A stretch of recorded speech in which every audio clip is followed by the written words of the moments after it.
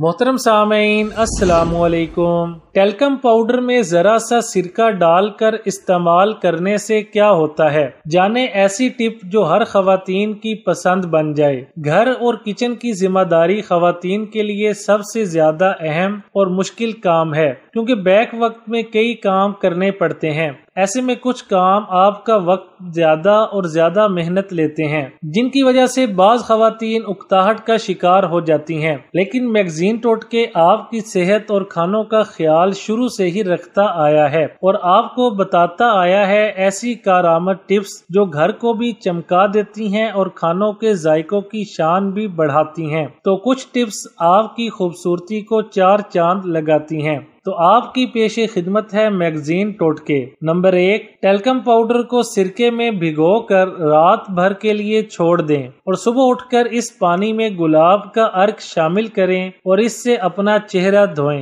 ये चेहरे के काले घेरे भी साफ़ होंगे और आँखों के अतराफ में होने वाली सूजन भी खत्म हो जाएगी। नंबर दो, इस पानी को फेंक दें और बर्तन में नीचे बचे हुए पाउडर को जख्मों पर लगाने से ये जल्दी भर जाते हैं। हैं और जलन भी नहीं होती। नंबर तीन, फ्रिज में जिस जगह बर्फ़ ज़्यादा जम जाए, उस जगह ये पानी डाल दें और फ्रिज को बंद कर दें। कुछ वक्त में आपके फ्रिज में खुशबू भी महक जाएगी और जमी हुई बर्फ़ पिघलेगी। नंबर चार, इस पानी से घर की दीवारों को साफ़ कर सकते हैं। बस इसमें सोडा डाल दें और दीवारों को रगड़ लें। सारे निशानात खत्म हो जाएँगे। नंबर पाँच, इस पानी में खुश्क मेहंदी पाउडर शामिल करें और बालों में लगाएँ। ये दो मुँह के बालों को खत्म करने के लिए एक अच्छा और सस्ता ट्रीटमेंट है। आपको ये टिप्स कैसी लगी? कमेंट बॉक्स में अपनी राय का इजहार करने के साथ चैनल को सब्सक्राइब और बेल के आइकॉन को प्रेस कर दें,